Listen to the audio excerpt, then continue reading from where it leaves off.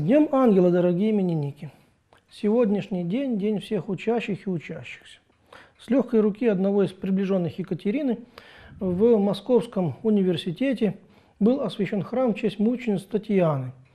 И сей храм стал храмом всех как раз там учившихся, а поскольку это учебное заведение было одно из таких немногих в тогдашней Руси, праздник Святой Татьяны стал с тех пор праздником всех грызущих гранит науки, всех учеников и всех преподающих полезные учения.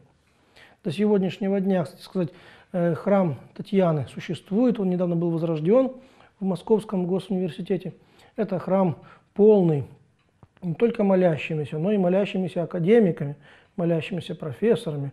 Этот храм, родивший многих, давший миру многих священников с академическим образованием – вообще уникальное святилище Божие, где науки и вера не соперничают с друг другом, а обнимаются и дружат и ходят под ручку. Вообще, что для сегодняшнего мира, обезумевшего науки, отвергающего религию, э, есть весьма ценно.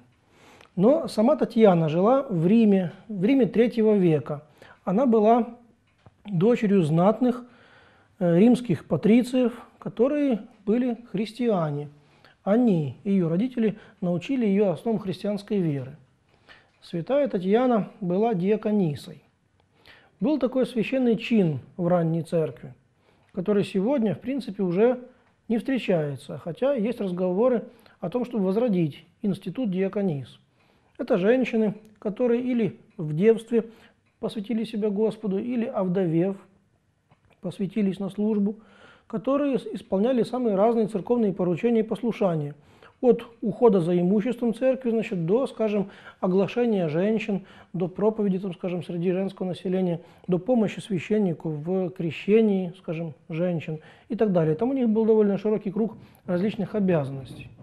Святая Татьяна как раз была диаконисой. Празднование императора Севера начались в Риме жестокие гонения. Это были 30-е годы третьего века нашей эры. Один из наместников императора, римский начальник, жестоко гнал христиан, и Татьяна попала как раз вот под эту метущую метлу. То есть ее схватили за имя Христова и ее стали мучить. Описание ее мучений занимает такой текст плотных таких, значит, э, повествований в несколько страниц или даже листов – машинописного как раз такого текста. Ее э, резали на части, ее бросали к голодным львам.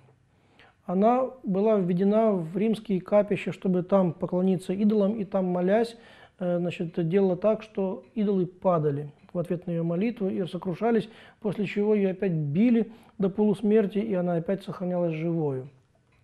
Описание ее страданий насыщено такими чудесами, такой злобой со стороны тех, кто терзал ее, и таким терпением с ее стороны, вместе с тем такой всемогущей помощью Божией, который ее укреплял посреди вот этих переносимых ею страданий, что современному изнеженному человеку, который и зубной-то боли не терпит, э, читать это э, иногда странно, иногда невыносимо, иногда э, сумнительно, потому что мы сегодня, далеки от праведности, мы сомневаемся во многом.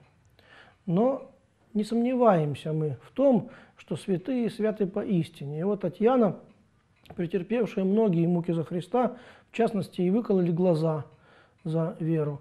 И многое другое не сделали, в конце концов умерла, э, претерпев отсечение главы. Вместе с нею казнили ее родители, отца, который правильно воспитал ее, который вместе с жизнью временной посеял в ее душе семена жизни вечной, научил ее веровать в Христа Спасителя. Части мощей этой мученицы находятся в разных местах. К примеру, десница ее находится в Пскове, в Псково-Печорском монастыре, где ваш покорный слуга однажды имел счастье видеть эти мощи и э, лобызать их на богослужении. Кроме Татьяны, сегодня поздравляем с Днем Ангела Саву, Петра, Евпроксию и Мартиния.